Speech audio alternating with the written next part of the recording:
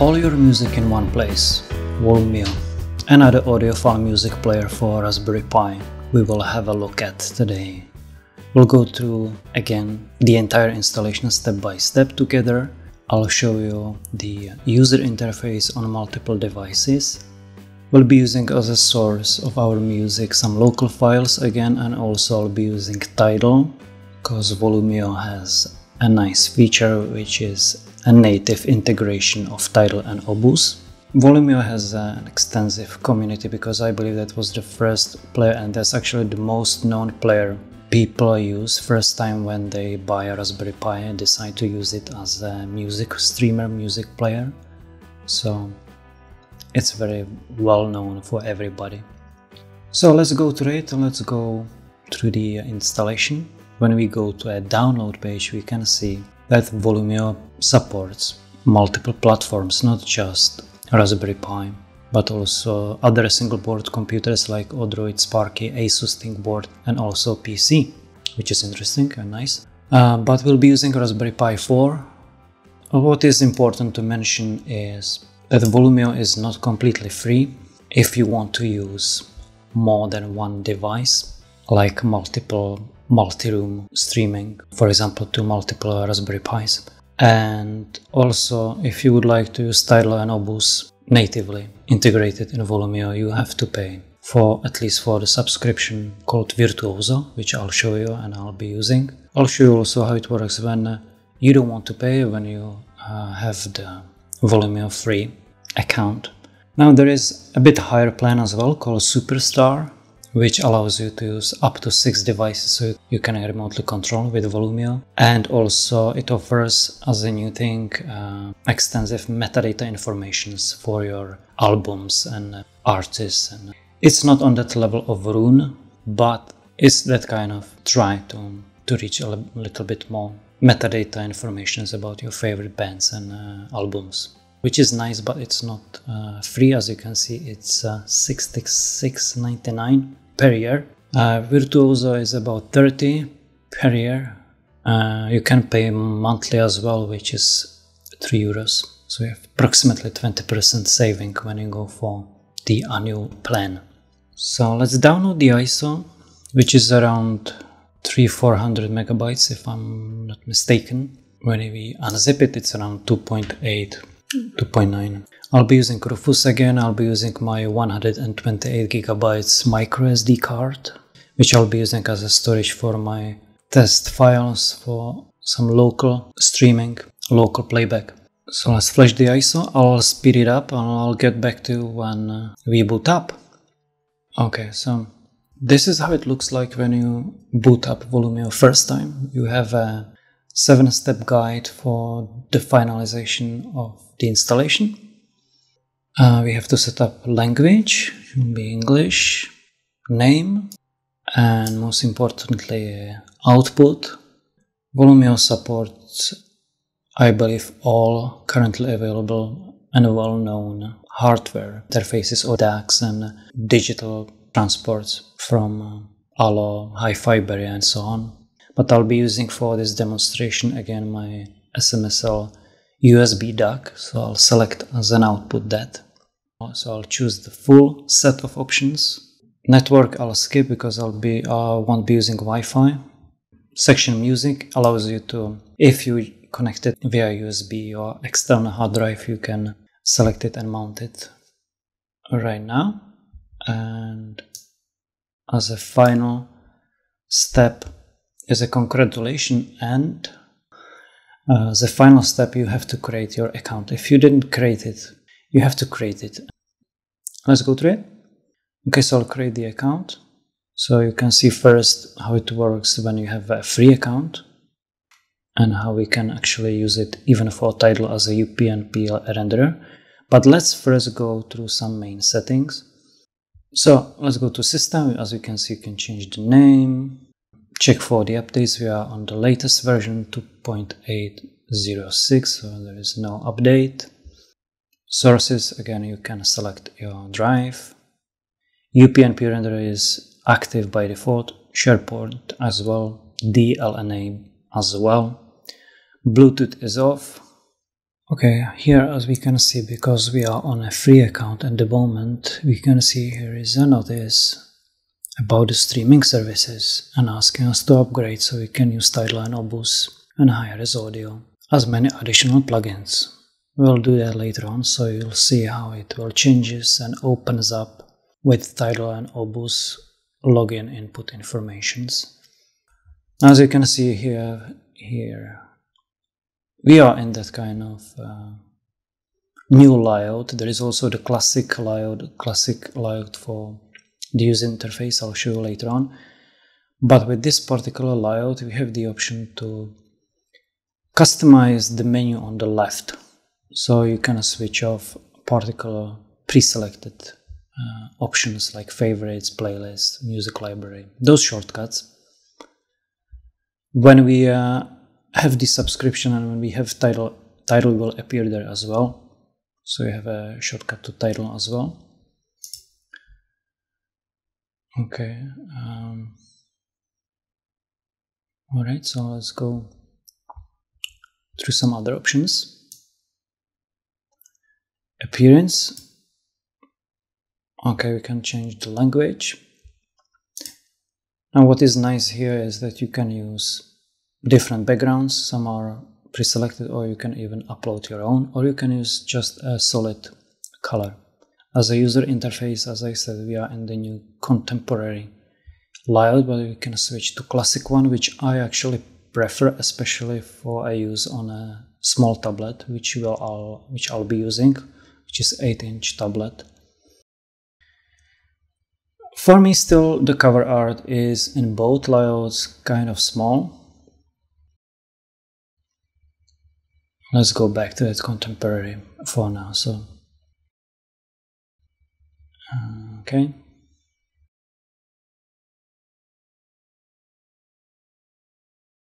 On the bottom as you can see we have a cue we have a volume slider some playback options and, and the cover on the left.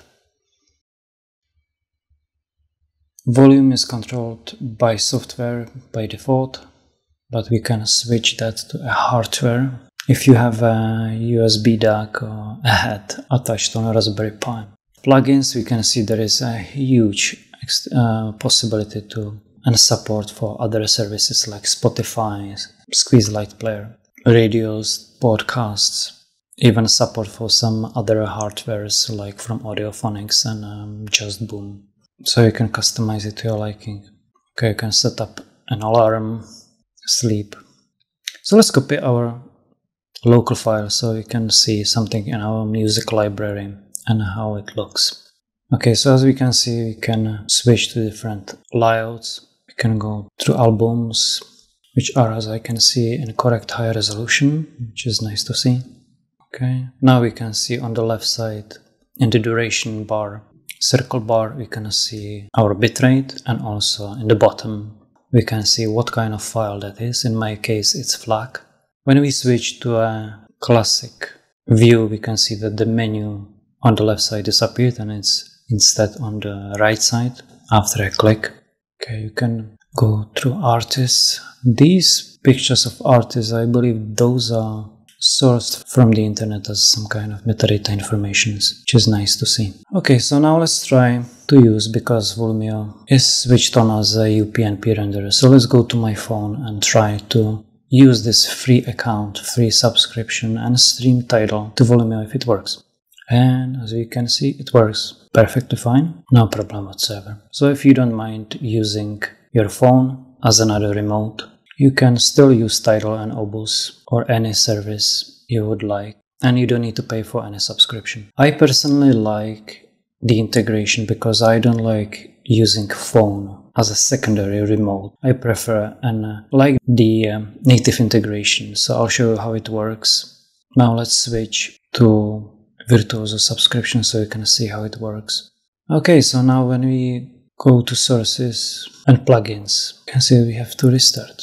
Okay, so we have to restart. After restart, if we go back to plugins, you can see we have a Tidal and Qobuz there. So I'll be putting my login information there and let's see how it integrates with Volumio.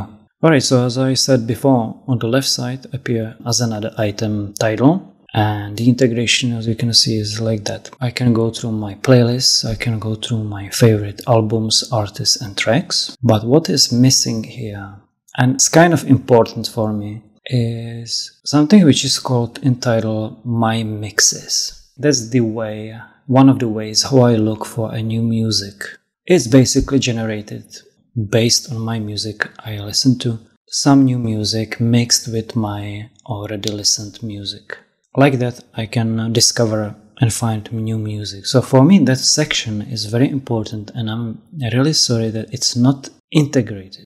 But let's go through my playlist first so you can see it works. Okay, I can see all my playlists here, it's fine, and let's try to stream something from Tidal like before, but natively. We have also something like a small m behind the name of the title, which means master quality. So Volumio is capable to play master quality tracks. And as we can see, it works just fine.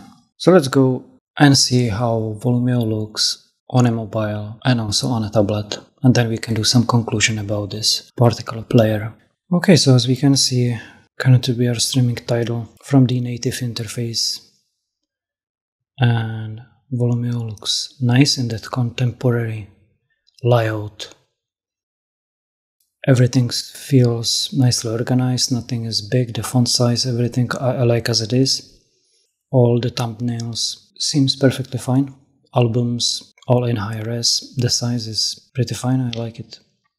Okay that's the queue that's the playlist can search for items let's change the layout to classic one so you can see how it will look like on a mobile okay now you can see the change the art cover is much bigger. It's basically full screen. The inside interface, like um, the library icons and everything, remain the same. It's basically for the playback for the home screen change, otherwise everything seems the same. I mean the size of those icons and everything. Yeah, I mean some people can like this one. Okay, so let's have a look how it looks on tablet. This is the contemporary layout. As you can see on a tablet in a landscape mode, the album cover is so small. So the entire place, even uh, the user interface like internal user interface doesn't scale down. You can see the bottom part, sometimes it's really big. Basically everything is centered for some reason. Doesn't use the entire space in a kind of efficient way for me. It's mostly just the background, that's it. It shows that it's more, you see, even the albums, how huge they are, all the thumbnails and icons are really big. You see how when you try to search or do something, like basically you have minimal space, some buttons are not responsive. Again, everything centered. It's very clear that it's the design is based uh, and aimed for portrait mode, not for landscape kind of mode when it comes to a tablet.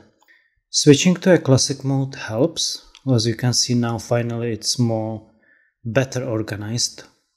But still it's a bit, I don't know, unbalanced for me. I mean the controls for volume and progress bar is okay, but for example the text the name of the album and again the thumb, thumbnails and albums everything huge big should be much smaller. Seems like nobody actually tested this particular player in landscape mode on a tablet. Okay when we switch to a portrait mode everything now looks much better. Okay, so let's do some conclusion about Volumio, what I think about it, what I like about it, what I found out. There are a couple of things which I would like to point out which I'm not completely happy about. Overall, I would say uh, this is that kind of player, as I said, for anyone who is just starting with uh, a Raspberry Pi and, and will be using it as a streaming player. Usually, first player you install is Volumio. The question of those subscriptions, I don't know. I think um, my personal opinion is uh, I don't mind paying three euros monthly, but some people maybe will not like it as an uh, additional cost for already expensive streaming service they pay. Yeah, I think that's kind of you know you can choose another option if you don't mind to use your phone as that kind of middle point. You can use UPnP and you don't need to have the subscription at all. When it comes to overall design and layout, I still feel in a desktop and a tablet view, it still needs some improvements. Um, basically, a contemporary design for a landscape tablet um, use, kind of, especially in a full screen, it's unusable. I mean, if something is too small, the interface is too big, that needs some work. In my opinion, it really needs some design changes so it adapts more. On a mobile, I think it's very nice, it looks very clean.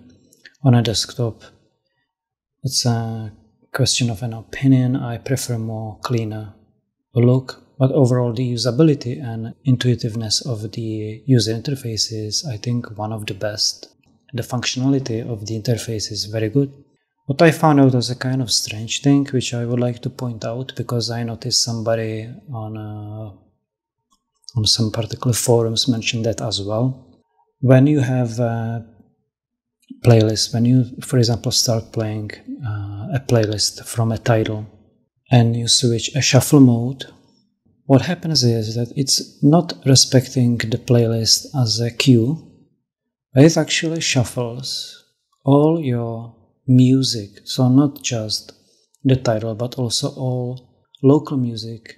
Uh, so it's kind of strange. I, it kind of bothered me. I felt like that I should uh, should point it out. Maybe it will be fixed later on. Otherwise, uh, the functionality is perfect. Nothing to criticize.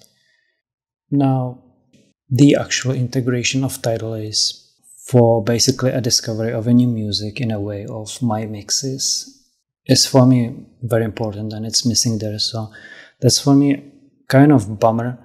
Um, maybe some people will not make a big deal from it but for me it is a big deal especially if you pay extra 3 euros monthly for the integration. So i would like to have a complete uh, experience a complete implementation of everything what the Tidal actually offers to me when I use it as a standalone application on uh, my desktop or as a standalone application on my phone.